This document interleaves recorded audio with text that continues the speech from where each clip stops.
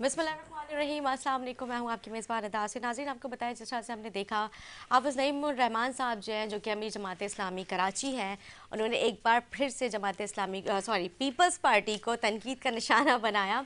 आ, वो कहते हैं कि जिस तरह से हम देख रहे हैं कि पीपल्स पार्टी जो वैसे एक्टिव तो नज़र आ रही है लेकिन जो उनकी कार्ड करती है कि वो एकदम जो है वो बिल्कुल ज़ीरो है क्योंकि जहांगीर रोड की जिस तरह से बार बार मरम्मत की जाती है लेकिन वो फिर से जो है वो अपनी असल उसी हालत में पहुँच जाता है। तो इसके पीछे वजूहत क्या है, क्या मटीरियल की नाकिस जो इस्तेमाल किया जा रहा है, क्या वो नाकिस किस्म का उसको इस्तेमाल किया जा रहा है? या कॉन्ट्रैक्टर इसमें जो है, वो अपनी मर्ज़ी से जो है, वो उस, ज़ाहिर सी बात है, उसको ये कॉन्ट्रैक्ट दे देते हैं। गवर्नमेंट पर बड़ी ज़िम्मा हो जाती है क्या कॉन्ट्रैक्टर जो है, उसकी इसमें गफलत है। ऐसे वाले से प्रोग्राम में गुफ्तु करते हैं, हमारे साथ मौजूद हैं। एम के पाकिस्तान से राजा राशिद साहब, जमात इस्लामी से हमारे साथ मौजूद हैं। सैफुद्दीन साहब, आप लोगों को खुश आमदीद कहूँगी प्रोग्राम में। पहले तो ज़ाहिर सी बात है, राशिद साहब, मैं आपसे चाहूँगी क्योंकि हम देख रहे हैं कि जमात इस्लामी तो एक्टिव नज़र आ रही है लेकिन एम पाकिस्तान एक बार फिर से चुप हो गई है। बीच में उनको काफ़ी जो है वो मतलब तनकी का निशाना बनाया जा रहा था फिर प्रेस कॉन्फ्रेंस के ज़रिए हमें जब एम पाकिस्तान के कुछ चेहरे नज़र आए। लेकिन वो उस तरह से पार्टिसिपेट नहीं कर रहे हैं जिस तरह से हम देख देख रहे हैं कि मतलब क्योंकि ज़ाहिर अपने वफाक का भी अभी हिस्सा है। सिंध गवर्नमेंट में भी ज़ाहिर सी बात है आपकी एक बड़ी जमात है सिंध में सॉरी लेकिन उस तरह से आप लोग अभी एक्टिव नज़र नहीं आ रहा। फिर मैं सैफुद्दीन साहब के पास हाँ बिस्मिल्लाह देखिए जी बात ये है कि एक बड़ा role M Q M Pakistan का इस पाकिस्तान की पॉलिटिक्स के अंदर रहा है और अभी तक है एग्जिस्ट करता है क्योंकि जो बेसिक मेन इश्यूज़ हैं क्योंकि हम उन इश्यूज़ की तरफ़ ज़्यादा हमारी कंसंट्रेशन होती है या उनके ऊपर ज़्यादा फोकस होता है जो कि प्रैक्टिकली वो चीज़ें जो हैं वो फ़ील्ड के अंदर नज़र आए। सबसे बड़ा इशू जो सेंसिस का इशू था उसके ऊपर हमने एक बड़ी हमत अमली के तहत और चाहे वो पार्लियामेंट के फोरम पे था या वो वैसे पब्लिकली था जी। उसके ऊपर ग्रास रूट लेवल तक हमने सारी जो है वर्किंग करके और इस चीज़ को हाईलाइट किया और फिर ये इस चीज़ को मनवाया भी। आप देखें तकरीबन 50 लाख से ऊपर की आबादी उसको इंडोर्स किया गया। ये भी कम है। ये हम तो ये कहते हैं कि इसकी आबादी जो है वो दो करोड़ से भी ज़्यादा है कराची की। हम्म, हम्म। और ये बेसिक इशू थे। उसके बाद बाकी जो लोकल गवर्नमेंट के इशू हैं इससे बड़ी कुर्बानी और क्या हो सकती है कि हम आप जैसे आपने कहा कि प्रोविंशियल गवर्नमेंट के अंदर हैं फेडरल गवर्नमेंट के साथ भी हैं लेकिन चार साल के लिए लोकल गवर्नमेंट से हमने अपने आप को बाहर कर दिया। ठीक। इससे बड़ी कोई सेक्रीफाइस हो सकती है बिल्कुल सही बात है कभी भी हाँ उसकी वजह क्या थी? आप लोग हमेशा से ही मतलब एम के पाकिस्तान जो है अपने मेयर लीग की सीट निकालती रोल है। देखिए 2005 से। 2010 तक का कराची दुनिया का बारह तेज तरीन तरक्की याफ्ता शहरों की लिस्ट में आया वो एक रोल मॉडल सेट किया है उससे नीचे कोई कंप्रोमाइज़ नहीं है। उसी लेवल का स्टैंडर्ड हम पूरे पाकिस्तान के अंदर चाहते हैं उसी लेवल का काम हम पूरे पाकिस्तान के अंदर चाहते हैं। अच्छा ये भी मतलब ये भी कहा जाता है कि एमकेएम से जो है ये बाइकआउट करवाया गया था उन्होंने खुद नहीं किया था। नहीं बाइकआउट कोई किसी को बाय फोर्स कैसे कर सकता है? आप देखें एक प्रिंसिपल्स हैं जब एक चीज़ आपकी जो डिलिमिटेशन के इश्यूज़ थे या बाकी ये जो सेंसिस के इश्यूज़ थे आप खुद देखें कि उसके बाद ये local government act section ten के तहत पहले जो इश्यूज़ हुए कि इन्होंने बहुत सारी जो बाद में तिरपन यूनियन काउंसिल्स जो हैं उनको इंडोर्स कर दिया। हम्म, हम्म। एक शॉर्ट सी एक लीगल हिस्ट्री है। पहले हम हाई कोर्ट में गए फिर सुप्रीम कोर्ट में गए उन्होंने कहा गवर्नमेंट हम्म, का मैंडेट है। फिर गवर्नमेंट ने हमारी इस बात को एक नोटिफिकेशन इशू कर दिया। सेक्शन टेन में लोकल गवर्नमेंट एक्ट के तहत हमारी बात को लीगली भी और पॉलिटिकली भी इंडोर्स किया गया माना गया। जब वो चीज़ हो गई है तो फिर एक महीने का टाइम रह गया था तो वो चीज़ें वो जो यूनियन काउंसिल्स थी 53 उनको ऐड करके फिर इलेक्शन करवा देते हम्म, हम्म। ताकि इंसाफ होता यहाँ पे ट्रू मैंडेट जो है लोगों का। ट्रू मैंडेट जो है वो आता फिर सही तरीके से यहाँ पे इलेक्शन होता। तो इन्होंने आनन फानन पहले तो पौने तीन साल इलेक्शन ही नहीं करा रही थी प्रोविंशियल गवर्नमेंट जो है। आर्टिकल 140 ए में लिखा हुआ है जैसी बनेगी प्रोविंशियल गवर्नमेंट पावर डिवॉल्व कर देगी। पौने तीन साल ट्रेंड ही नहीं है पाकिस्तान के हम्म, अंदर लोकल गवर्नमेंट सिस्टम का कोई ट्रेंड नहीं है। कि उसको डिस्करेज किया जाता है बड़ी पॉलिटिकल पार्टीज़ जो है prime minister chief minister house से चीज़ों को कंट्रोल करती हैं। हाँ। तो हमने इतनी बड़ी सेक्रीफाइस आप देखें एक पॉलिटिशियन जो है वो उसकी सबसे बड़ी कुर्बानी ये होती है कि वो अपने आप को सीट से अपने आप को अलग कर ले। हमारा मकसद जो है वो सीट नहीं है। हमारा मकसद अगर सीट होता तो दिस वे डैट वे हम तो फॉरन इलेक्शन कंटेस्ट करते। आज हम भी पार्ट होते। हम्म। आज हम भी इस ये जो, जो, जो लोकल गवर्नमेंट ये जो इस तरीके से इन्होंने चला रहे हैं इसका हम भी पार्ट होते। बेनिफिशियरी होते। चलें जी। नंबर वन नहीं होते तो नंबर टू तो होते ही। सही। फिर भी हमारे लोग बैठे होते सीटों पे हम बेनिफिशरी होते। बेनिफिट्स की बात नहीं है। इसके बाद से जो पॉलिसी सेट की की गई है एम के पाकिस्तान की तरफ़ से खालिद मकबूल भाई मुस्तफ़ा कमाल भाई की तरफ़ से या हमारी रबता कमेटी या बा, बाकी लीडरशिप की तरफ़ से उसमें तो प्रिंसिपल्स के ऊपर ज़ीरो टॉलरेंस है नो कम्प्रोमाइज़ जिसमें पब्लिक ऑफ़ पाकिस्तान का पब्लिक ऑफ़ कराची का बेनिफिट है उसके ऊपर तो हम सेक्रीफाइस भी करना पड़ा हम करेंगे हमने करके दिखाया। है we are nowhere in local government और हम अपने उस प्रिंसिपल स्टैंड के ऊपर खड़े हैं। लेकिन बात यह है कि हम सिर्फ़ वही वाली बात कर रहे हैं कि जो काम जो स्टैंडर्ड यहाँ इंसानों ने किया ना कराची के अंदर हम उसका क्रेडिट भी नहीं ले रहे। हम सिर्फ़ ये कह रहे हैं कि उससे बड़ी पावर आज पीपल्स पार्टी के पास है। उनकी प्रोविंशियल गवर्नमेंट है फेडरल गवर्नमेंट के अंदर है लोकल गवर्नमेंट में तो मेयर डिप्टी मेयर उनके पास है? तो उसके? बाद ये उससे उस वक्त कराची बारहवें तेज तरीन तरक्की याफ्ता शहरों की लिस्ट में आया था। हम्म। अभी इसको इम्प्रूव करें उस स्टैंडर्ड को। हम ये कहते हैं।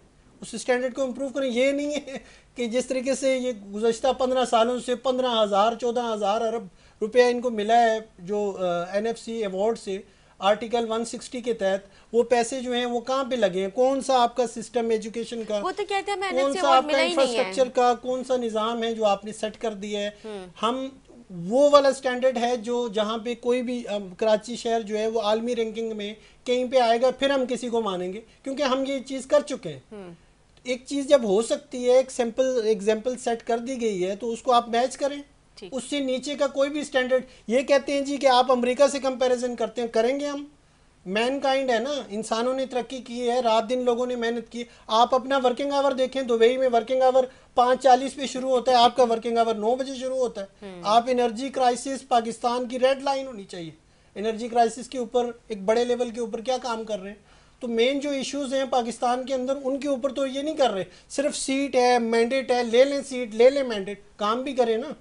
उसका आउटकम भी आना चाहिए उसका यही तो- रिज़ल्ट भी आना यही तो राशि साहब हम सबका सवाल होता है कि क्यों नहीं काम करके दिखाया जा रहा है। और अगर काम कर भी रहे हैं तो मतलब आपने देखा जैसे अभी मैंने जहांगीर रोड की अभी मैंने मिसाल दी मतलब वो कितनी दफ़ा बन चुका है और कितनी दफ़ा उसकी मरम्मत हो चुकी है लेकिन फिर वही उसकी वहीं की वही वही उसकी जो है सिचुएशन नज़र आ रही होती है। मतलब वो क्यों नहीं अभी तक सही होके दे रहा है? देखें जी बात यह है कि पाकिस्तान के अंदर जो इंस्टीट्यूशंस हैं जैसे जुडिशरी है इंतज़ामिया है सब अपने अपने रोल के ऊपर सही काम करेंगे तो ये चीज़ नहीं होती। ये अदलिया का काम नहीं है कि हर चीज़ के ऊपर सौ मोटो ले रोडों के ऊपर भी फलाने मामला के अंदर भी। आपका जो भी सिस्टम है इंतज़ामी सिस्टम पॉलिटिकल सिस्टम वो पूरा ऑर्गेनाइज है। उसके अंदर अगर कोई इनके ऊपर चेक चेक एंड बैलेंस नहीं रख रहा है इनको नहीं पकड़ रहा है इसका मतलब है पूरा सिस्टम करप्ट है। ठीक। तो आप पब्लिक ऑफ़ पाकिस्तान का पैसा जो है वो इस तरीके से ज़ाया कर रहे हैं। प्लानिंग क्यों नहीं है? अगर बाद में अगर एक रोड बनने के बाद दूसरी लाइन डलने वाले आते हैं तो इनको पनिश करें। ये कौन सा तरीका है? सही। जब तक इस तरीके से ये लोग चार्ज करे कौन? इनके अपने लोग हैं। हम्म। तो इस तरीके से तो आप पब्लिक ऑफ़ पाकिस्तान का पैसा ज़ाया कर रहे हैं क्रेडिट ये लेते हैं कि जी हमने कर दिया। मैं तो यहाँ तक कह चुका हूँ लेजिस्लेशन करें जितनी भी ये ये तख्तियाँ लगती हैं नेशनल हीरोज़ के नाम पे लगाएँ किसी के नाम नहीं लगनी चाहिए। तब जब तक ये सिस्टम नहीं होगा फिर भी डिवोल्यूशन ऑफ़ पावर के हवाले से ये लोकल गवर्नमेंट को इनसे अलग कर दें।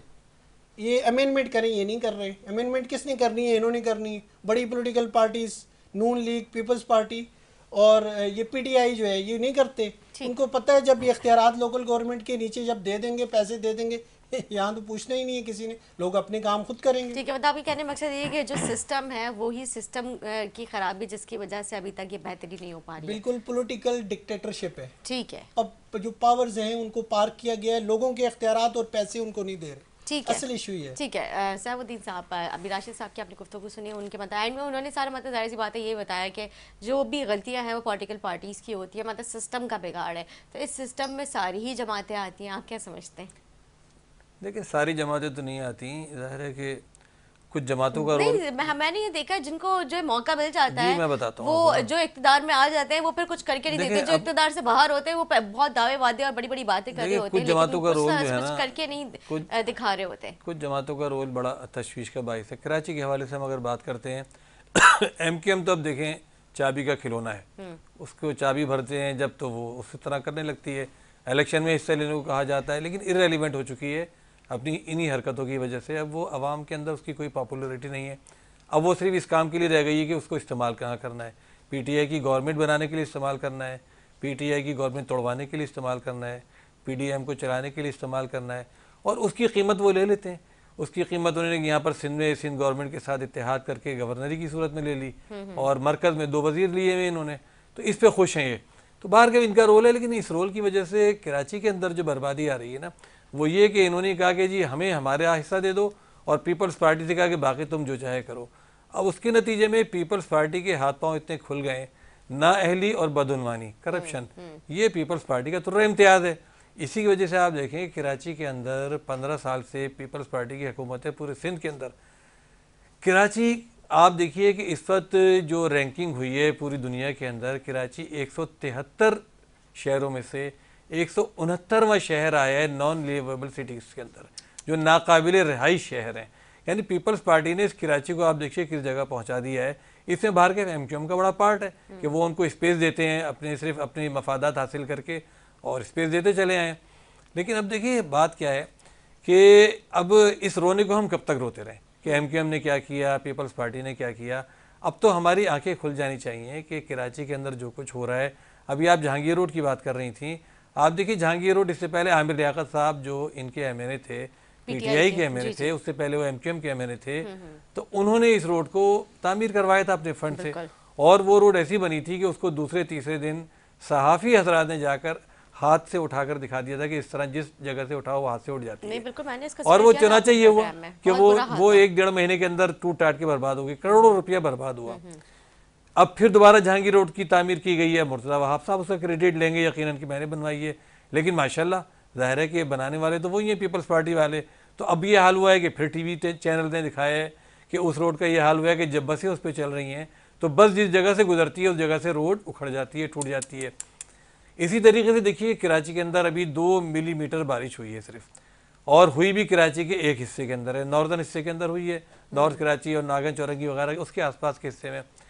दो मिलीमीटर बारिश से यह हाल हो गया कि तमाम चौराहे, तमाम सड़कें वहाँ पर जो है नालों का मंजर पेश कर रहे थे। अब ये जो सूरत हाल है, ये कब तक रहेगी?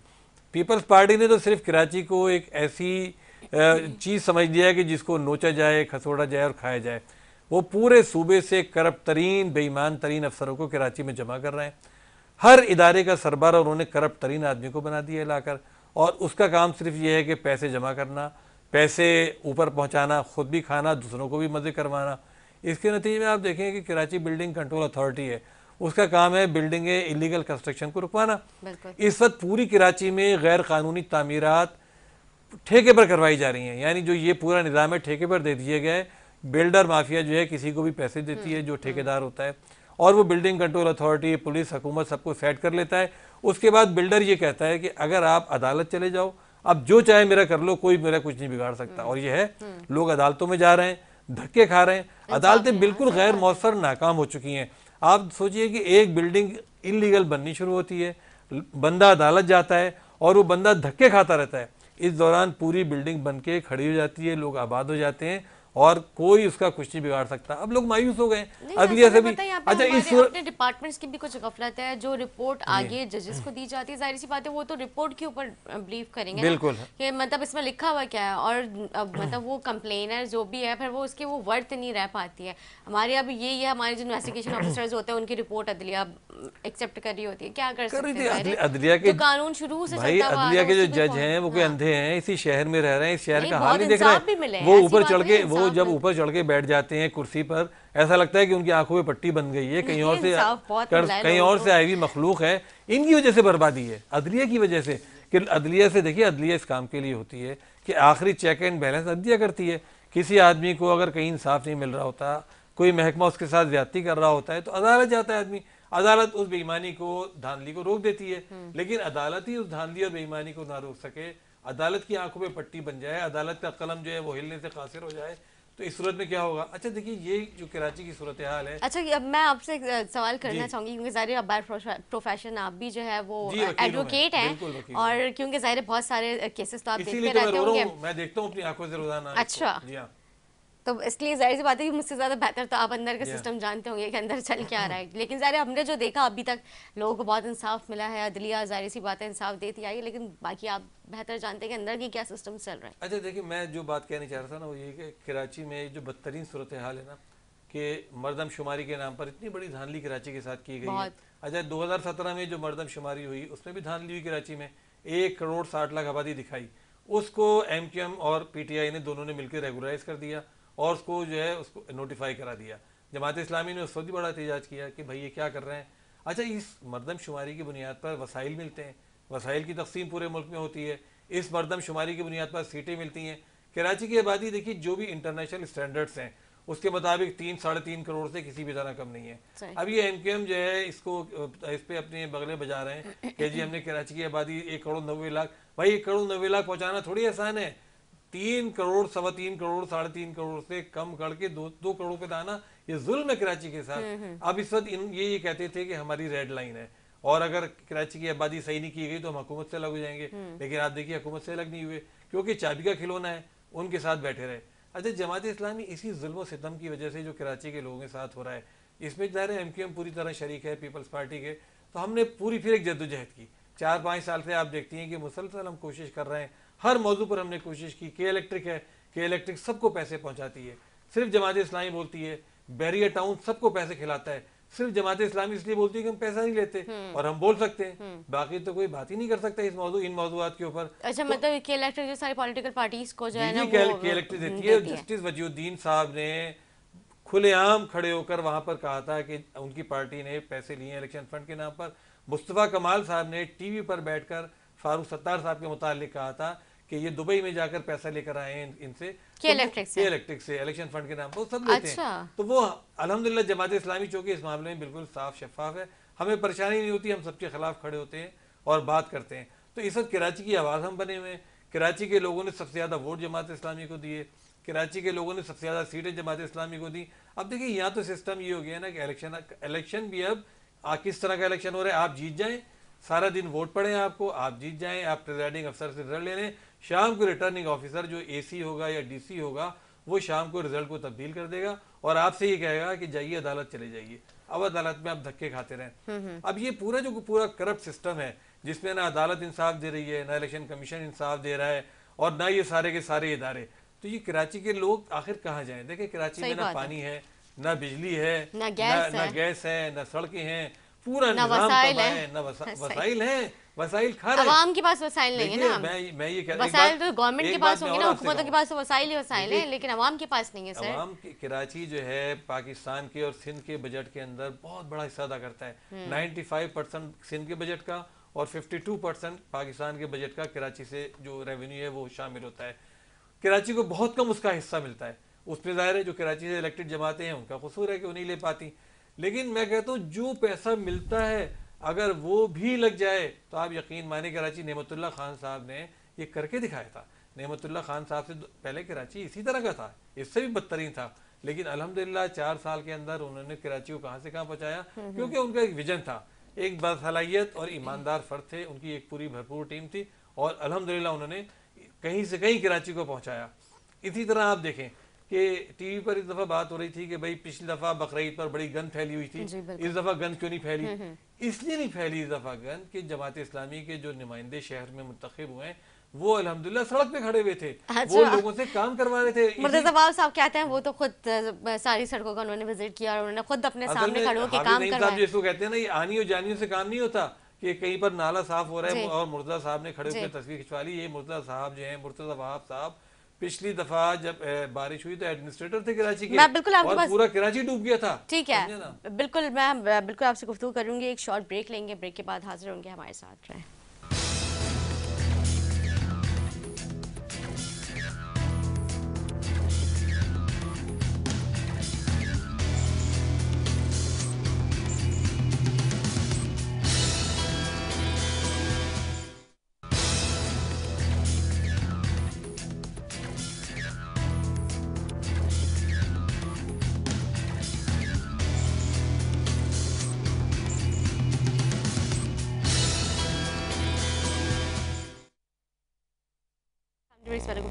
साथ सर आप गुफ्तु कर रहे थे फिर मैंने ब्रेक जी कर मैं ये कह रहा था कि देखें ऐसी सूरत में जब कोई इदारा काम नहीं कर रहा सरकारी इदारे करप्शन का अड्डा बन गए उनका काम अच्छा उसके अफसरान का तकरूर इसी बुनियाद पे किया जाता है। वो पैसे दे के तकरूर ही हासिल करते हैं और उनसे तय होता है कि भाई आप इतने पैसे पहुंचाएँगे। वो चाहे वाटर बोर्ड हो बिल्डिंग कंट्रोल अथॉरिटी हो ये जो रिस्टार बैठे हुए हैं जितने सारे सब करप्शन के अड्डे बन गए हैं। सब में आप कोई अपना जायज़ काम करवाने चले जाएँ आपका जायज़ काम नहीं होगा।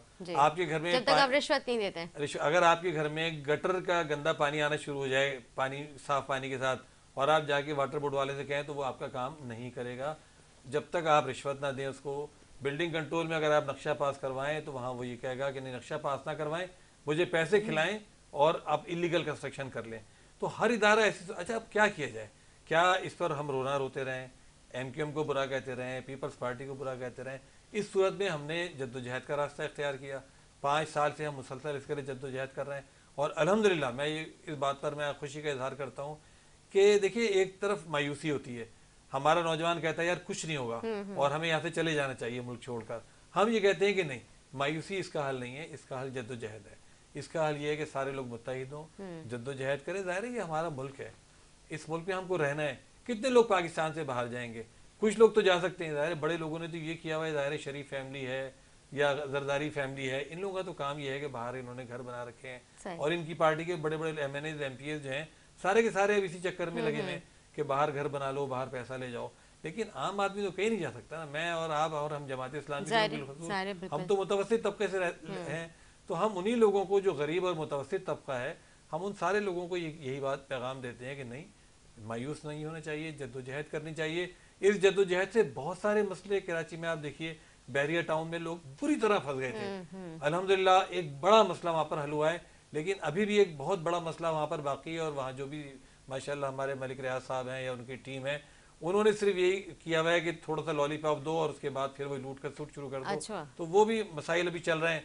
इसी तरीके से दीगर के इलेक्ट्रिक है नादरा है हर इदारा जो है वो कराची के शहरियों को तंग करने पर तुला हुआ है। इस सूरत में जद्दोजहद के अलावा और कोई रास्ता नहीं है।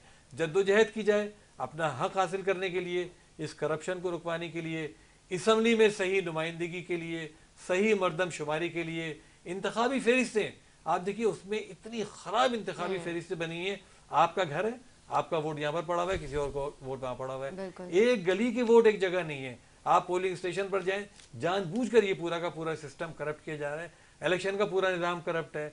आप देखिए कि वोटर लिस्टें खराब उसकी हल्का बंदियाँ खराब जानबूझकर जाली हल्का बंदियाँ उसके बाद आप आगे चलें इलेक्शन वाले दिन चले जाएँ तो स्टाफ पूरा का पूरा बेईमान बैठा हुआ। सारे वो लोग बैठे हुए जिनको हुकूमत ने मुतन किया बेईमानी करने के लिए। इलेक्शन कमीशन जाए वहाँ इंसाफ नहीं मिलता। तो मतलब इस नाइंसाफी के दौर में आपके पास सिवाय जद्दोजहद के और, और कुछ नहीं है। है। और जमात। इस्लामी इसके लिए भरपूर प्रोग्राम लेकर चल रही है। ठीक है ज़बरदस्त राशिद साहब। देखें जी बात यह है कि इन रिबटल में सिर्फ़ इन रिबटल थोड़ा सा बाकी मैं नेशनल इश्यूज़ पे फोकस करूँगा। ठीक है। कि हम किसी जो खिलौने की चाबी नहीं है अनफॉर्चुनेटली बात यह है कि और मैं जमात इस्लामी को एक दफ़ा भी क्रिटिसाइज नहीं करूँगा। हमारे भाई हैं ये भी अपनी पॉलिटिकल जदोजहद बहुत बहुत शुक्रिया। और ये पॉलिटिकल जदोजहद करें कर रहे हैं हम इनकी दिल से इज़्ज़त करते हैं। जब इन्होंने लोकल गवर्नमेंट के लिए इनकी भी बहुत बड़ी कंट्रीब्यूशन है और जब इनकी तरफ़ से दो- 2021 की अमेंडमेंट पीपल्स पार्टी ने लोकल गवर्नमेंट एक्ट के अंदर की जी जी। ये अंडर प्रोटेस्ट थे तो मुस्तफ़ा कमाल भाई हमारी पूरी पॉलिटिकल पार्टी को लेके इनके कैंप में गए। तो बात ये है कि हम तो एक गुड गेस्चर यही है कि प्रिंसिपल्स हैं कुछ इस शहर के लिए और पोलिटिकल बड़ी पोलिटिकल पार्टीज़ जो थी हमेशा उन्होंने लोकल गवर्नमेंट को जो है वो डिस्करेज करने की कोशिश की अकोपाई करने की कोशिश की ग्रैप करने की कोशिश की जिस वजह से लोकल गवर्नमेंट एक्ट के अंदर बहुत सारी अमेंडमेंट्स फिर इक्कीस में भी अभी मुर्तज़ा वहाब साहब को फेवर देने के लिए तेईस में भी उसके अंदर अमेंडमेंट की ठीक। तो ये दिस वे डैट वे उसके अंदर सारी जो अमेंडमेंट्स करके पहले तो पावर्स देते नहीं है इलेक्शन कराते नहीं है। फिर जब वो करा दें तो इस तरीके से कराते हैं उसकी डायमेंशन ऐसी बनाते हैं कि वो जो नदी है वो सीधी इनकी वहाँ जाए। सही। तो इस वजह से हमने हम स्पेस नहीं दे रहे हमने किसी को स्पेस नहीं दी।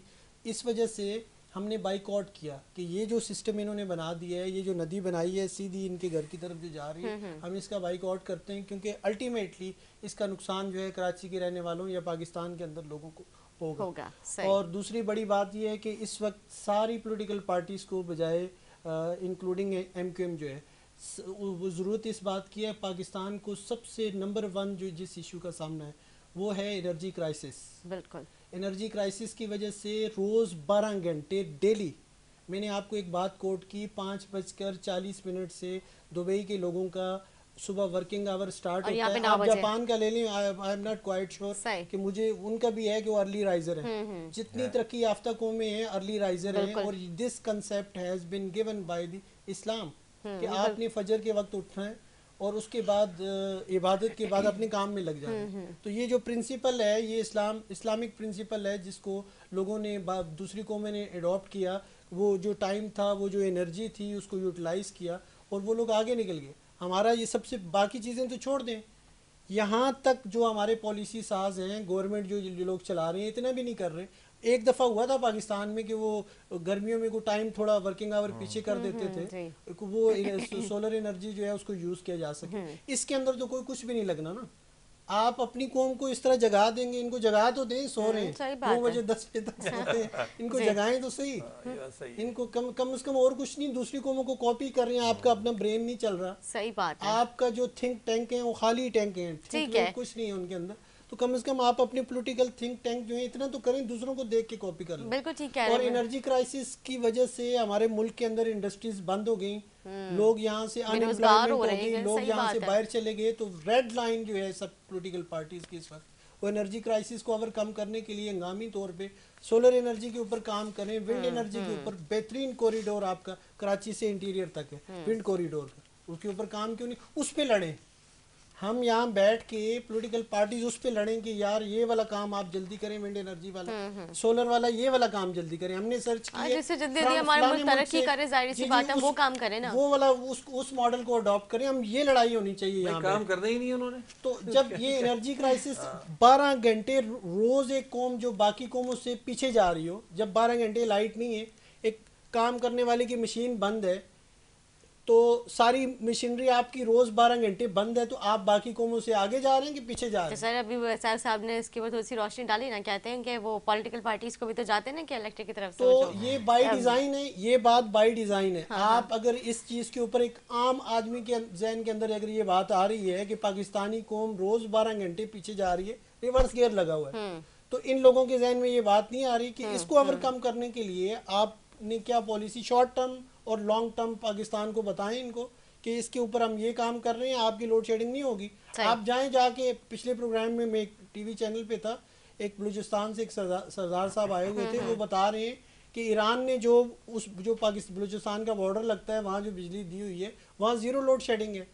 मुझे नहीं लगता कि अफ़गानिस्तान में भी इतनी लोड शेडिंग होगी जितनी पाकिस्तान के अंदर है। जहाँ पाकिस्तान में direct मुझे नहीं लगता कि कहीं और इतनी ज़्यादा होगी जितनी कराची में वही यही है और जब जबकि कराची सबसे ज़्यादा मतलब टैक्स देने वाला शहर है। एनर्जी क्राइसिस पाकिस्तान के अंदर बाई डिज़ाइन पैदा किया। आप कंपैरिजन करें और एफिशिएंसी आ जाती है ना फेडरल में जिन्होंने सर्व किया है हम्म, वो आज जवाब दे। वो बार बार कहते हैं हम जो है वो आना चाह रहे हैं। गवर्नमेंट के अंदर दोबारा नून लीग वाले भी पीपल्स पार्टी वाले हम्म। भी ये चालीस पैंतालीस पचास साल वाली साठ साल वाली पार्टी से आप कंपेयर करें इंडिया ने कितने डैम बनाए आपने कितने बनाए।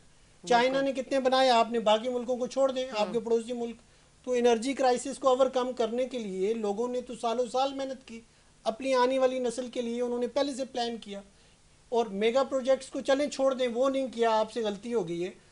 तो अभी बताएँ ना अभी आप एक प्रोग्राम प्राइम मिनिस्टर साहब की तरफ़ से जो आया हो सिंध के चीफ मिनिस्टर साहब एक उन्होंने प्रेस कॉन्फ्रेंस की हो कि ये हमारी रेड लाइन है एनर्जी क्राइसिस तो पूरी कौम उनके साथ खड़ी हो जाएगी प्राइम मिनिस्टर चीफ मिनिस्टर साहब सही कह रहे हैं। हमारा मसला छह महीने में साल में हल हो जाएगा। उसके लिए कुछ ऐसा करें तो सर अभी आपके में इसके लिए क्या करी है? कुछ आप लोगों ने इसके लिए कोई तैयारी की है आगे का? क्या अमल आप लोग तैयार कर रहे हैं? किस तरह से ये जो क्राइसिस है इनसे निकाला जाएगा? आप लोगों ने कोई वफाकी हुकूमत को इस इस हवाले से कोई मशवरे दिए? उसमें सबसे बड़ी मैं जो अभी ये बात कर रहा हूँ ये बातें डिस्कस होती हैं तो मैं बात कर रहा हूँ। जी। हमारी जो अपनी इंटरनली हम्म, मीटिंग्स के अंदर डिस्कस होती हैं कि सबसे बड़ी चीज़ जो है वो एनर्जी इस वक्त जो हम्म, है सबको पता है ना इस वक्त एक आम शहरी की हम बात कर रहे हम्म। हैं कि उसको ओवरकम करने के लिए जब तक हम तो इनको हर टाइम के ऊपर इनसे जो मीटिंग्स होती हम्म। है इनको बताते हैं तो शॉर्ट टर्म में सबसे ज़्यादा सोलर के ऊपर काम करने की ज़रूरत है सबसे ज़्यादा। तो उस हवाले से ये लैपटॉप देने के बजाय लोगों को एक एक प्लेट दे दें सोलर की। हम्म, कम अज़ कम लोगों को आँसू तो पूछे बिल्कुल सारे कोई एक पंखा एक लाइट तो चल जाएगा ना उससे सही बात है। उसके लिए टैक्स फ्री कर दें। हाँ। सोलर सिस्टम के लिए इक्विपमेंट जो है बैटरी या जो प्लेट्स लग रही है टैक्स फ्री कर दें। बिल्कुल सही कह रहे हैं उसको नॉमिनल कर दें उसके अंदर उनको जो है वो रिलीफ दे दें। अगर एक उसकी मार्केट में चालीस हज़ार कीमत है आप उसके अंदर इनको रिलीफ दें दस हज़ार में इनको प्रोवाइड करें। ताकि हर कोई जो है सेल्फ जनरेट करे। तो कुछ तो करे इमरजेंसी तौर पे जब तक आपके बड़े डैम नहीं कुछ बन दिनों पहले जाते। देख रही थी मैं मतलब एक न्यूज़ चैनल पे था मतलब मुझे बहुत हैरत हुई। एक बंदा जिसकी तनख्वाह दस हज़ार है और वो उसको जो है बीस पच्चीस हज़ार का बिल दे रहे तो कहाँ से कर पाएगा? नहीं सबसे कर पा बड़ा रहे। जुल्म ये अभी कह रहे हैं ना चार रुपए पाँच रुपए और सात रुपए के हिसाब से बढ़ेगी। ये तो कल ही तो बढ़ाया उन्होंने सात रुपए पचास पैसे। ये तो ठीक है आपको या तो इंटरनेशनली या नेशनली किसी ने रोका हुआ है। कि हम्म। आपने नीचे से ये इंक्रीज करते जाना है बिल और उसको अल्टरनेट जो आपका जो वो है इमरजेंसी के तौर पे और वो इतनी का, इमरजेंसी में इन्होंने आधी रात में जो है वो साढ़े सात रुपए उन्होंने बढ़ा दिए। मतलब आधी रात में जो है ये सुबह जब सो के तो उठे तो पता चला कि बिजली के बिलों में पैसे इजाफा हो चुका है। हम्म, IMF से जो कर्जा लिया था उसके ऊपर बगले में जा रहे थे खुश हो रहे थे जी कौम को मुबारकबादें दे रहे थे। भी किसी से लेके कर्जा किसी से लेके सूद पर हैवी सूद पे कर्जा लेके बड़ी बड़ी गारंटियाँ देके कि जी हम कौम पर टैक्स लगाकर उनका खून निचोड़ हम्म, कर आपको पेमेंट करेंगे। कर्जा लेकर कोई मुल्क चलता है आप बताइए। देखिए पाकिस्तान का सबसे बड़ा अलमिया क्या है? वो ये है कि यहाँ पर पॉलिटिकल स्टेबिलिटी हम ठीक है सियासी जमातों को बुरा कहते हैं लेकिन सियासी जमातों का कसूर दूसरे नंबर पर आता है। पहले नंबर पर वो लोग जो पूरे पाकिस्तान को मैनिपुलेट कर रहे हैं वो पाकिस्तान को इस्टेब्लिश नहीं होने दे रहे यहाँ पॉलिटिकल सिस्टम को नहीं इस्टेब्लिश होने दे रहे। हर वक्त जो सर पर तलवार लटकी रहती है उनको गाइड किया जाता है। इस पूरे निज़ाम को मैनिपुलेट किया जाता है। आप देखिए बांग्लादेश पाकिस्तान से अलग हुआ वहाँ स्टेबिलिटी है। वो पाकिस्तान से हर माने में आगे बढ़ गया। अफ़गानिस्तान जिस जिसने कितनी तबाही देखी है इस वक्त पाकिस्तान से दसियों मामलात में पाकिस्तान से अफ़गानिस्तान बेहतर हो चुका है। अमनो अमान तो अपनी जगह वहाँ बेहतर हो चुका है। अभी उन्होंने मेरे एक दोस्त अभी वहाँ तिजारत करते हैं। कह रहे हैं बड़ी शानदार एक्सपो उन लोगों ने लगाई थी। अच्छा। उन्होंने एक्सपोर्ट शुरू कर दिए हैं। उनके यहाँ जो भी मामला सड़कें बन रही हैं वो हो रही हैं हर चीज़ एक स्टैंडर्ड की बन रही है पूरा एक निज़ाम चल रहा है। स्टेबिलिटी पाकिस्तान में जो हमारी इस्टेब्लिशमेंट है जो ये मैनिपुलेट करते हैं वो किसी सियासी पार्टी को स्टेबल नहीं होने देते। उसके अंदर इंजीनियरिंग करते हैं उन पार्टियों के अंदर इंजीनियरिंग करते हैं हुकूमत लाने और बिगाड़ने के लिए इंजीनियरिंग करते हैं जिसके नतीजे में क्या होता है कि कोई प्लानिंग नहीं कर सकता। कोई अपने गवर्नमेंट की प्लानिंग कर ही नहीं सकता जो तरजीहत उन लोगों की तरफ़ से दी जाती हैं। ये लोग बेचारे जो भी पॉलिटिकल पार्टीज़ इकतदार में आती हैं चूँकि वो आती इन शराइ पर हैं। उनको लाए जाते है पॉलिटिक्स में क्या अमल दखल सारी मैनूवरिंग वो करते हैं। सारी ये जो कराची में पीपल्स पार्टी तीसरे नंबर पर पीपल्स पार्टी ने वोट लिए तीसरे नंबर पर तीन लाख वोट तमाम बेईमानी के बावजूद मिले। जमात इस्लामी और पीटीआई को नौ लाख वोट मिले। अब आप बताएँ तीन लाख वोटों वाली पार्टी जो है वो नंबर एक पार्टी बनकर आ गई। वो जिसने जनवरी पंद्रह जनवरी को इलेक्शन हुए पंद्रह जनवरी की शाम छह बजे तक एक घंटे बाद तक रिज़ल्ट आने के सबसे कम सीटें थी उसकी। ठीक। सही है? जमात इस्लामी से 20-25 सीटें पीछे थी। और वो रात के 11-12 बजे तक माशाल्लाह नंबर वन पार्टी बन गई। मतलब क्या तमाशा है? उसके बाद फिर पीपल्स पार्टी जमात इस्लामी और पीटीआई ने मिलकर इतिहाद बनाया मेयरशिप के लिए। जी। उनकी सीटें ज़्यादा थी एक सौ तिरानवे थी। और उनकी एक सौ तिहत्तर थी। फिर आप देखिए नौ मई का वाकया जो भी कुछ हुआ उसकी आड़ में उसको वो पीपल्स पार्टी ने उसको गोल्डन अपॉर्चुनिटी बना लिया अपने लिए। उसकी आड़ में जो पीपल्स पार्टी ने धमा चौक नहीं सर आर तो नहीं मतलब ये तो हकीकत है। ये चीज़ मतलब अगर देखी जाए उन्होंने तो गलत हकीकत है है। हर हकीकत हर हकीकत का एक हकीकत ही होती है हम्म, ना इस हकीकत की भी कराची में तो इतनी हकीकत है ना कि कराची में एक चौकी जली थी शार फैसल पर। उसकी आड़ में पूरी कराची में जो पीटीआई के चेयरमैन थे उनके घरों पे छापे मारने नहीं सर दिए। वो जो चौकी जली थी वो एक चौकी भी नहीं जलनी चाहिए थी। वो। मुहाफिज है।